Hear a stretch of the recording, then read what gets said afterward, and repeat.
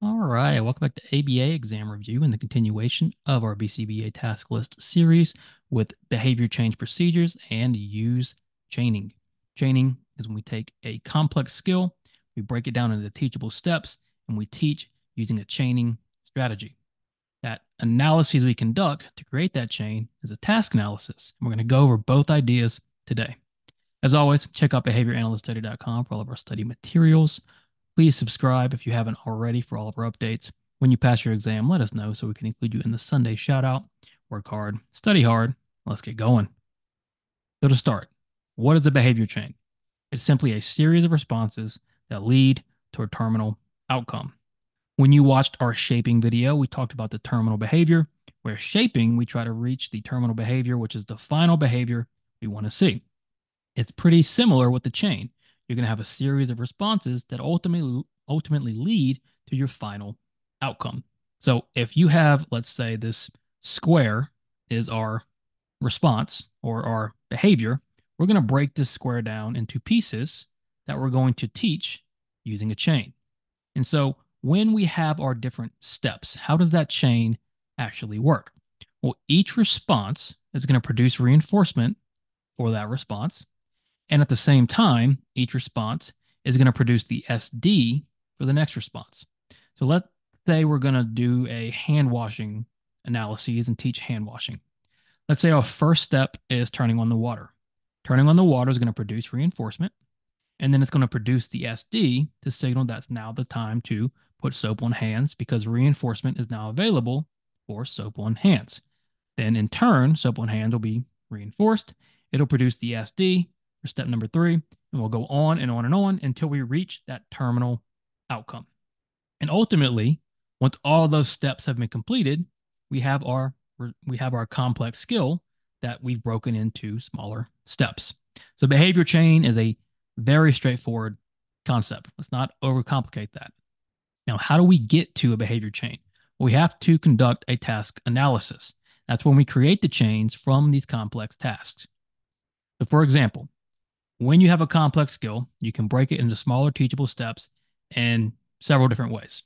First, you can observe someone competent. We we want to avoid with the task analyses looking at someone simply the same age as our learner, for example.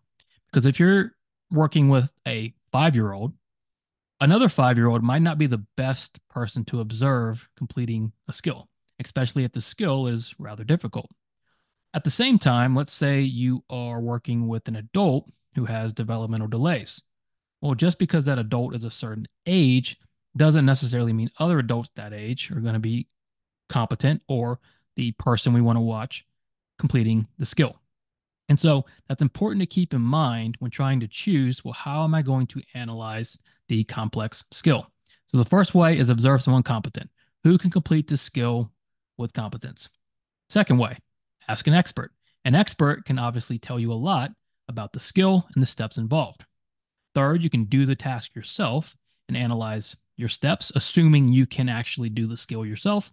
And then four, trial and error. Just work through it, work through the skill until you get the steps right.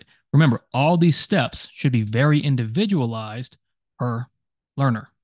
And so now we have our analyses, right? We've broken the complex skill into teachable steps how do we assess mastery? Because now we're going to teach using a chain.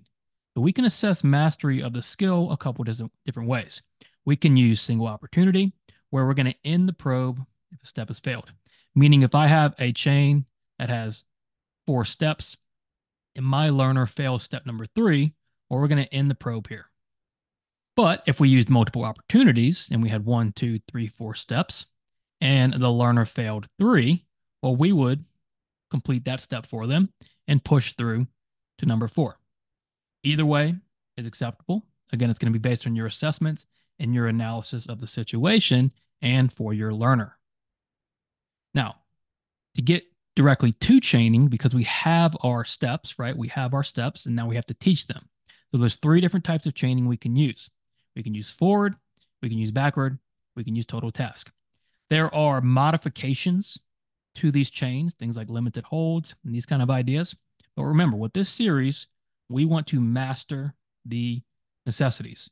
We want to master the fundamentals. Once you've mastered these fundamentals, then you go forward and you start thinking about limited holds and these ideas, but only once you are 100% fluent here. The complex ideas aren't going to be the thing that brings you down on test day. It's going to be a lack of fluency on the fundamentals. So let's start with forward chaining. We're going to teach behaviors in the naturally occurring order. So let's say you want to make a sandwich. We're going to teach forward chaining. We're going to teach teach using forward chaining. We're going to teach making a sandwich in the naturally occurring order. Let's say you grab the bread, you grab the ingredients, and you proceed to make the sandwich. So you're going to teach the first step first and prompt through the rest. And we're going to reinforce on that first step with independence and then go through it. And then the next time around, we're going to reinforce for one and two and then go through it. Now, backward chaining is exactly what it sounds like.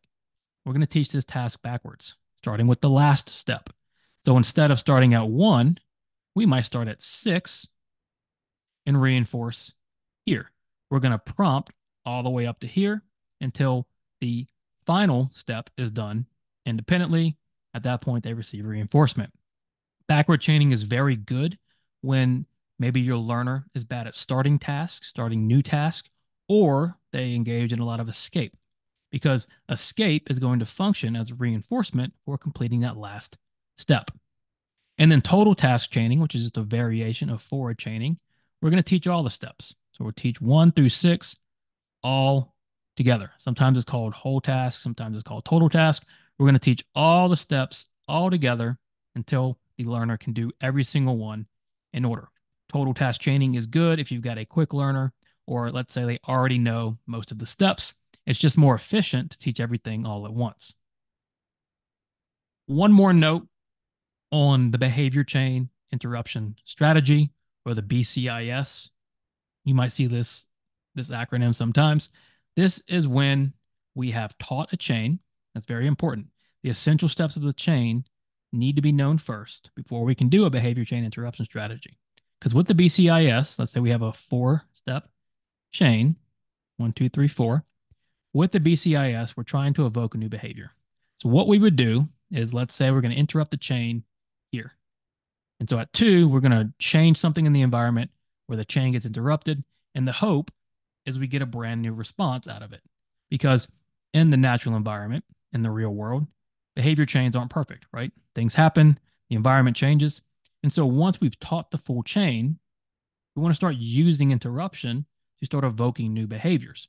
So in case we're not there or the learner is engaged in this chain and in a different location, they won't be caught off guard by sudden changes or disruptions in the chain. Again, very important to remember for the for the behavior chain interruption strategy that you want the essential steps of the chain to be known first. And that's chaining. It's very, very straightforward. Again, these are the fundamentals. You've got to be fluent in the fundamentals.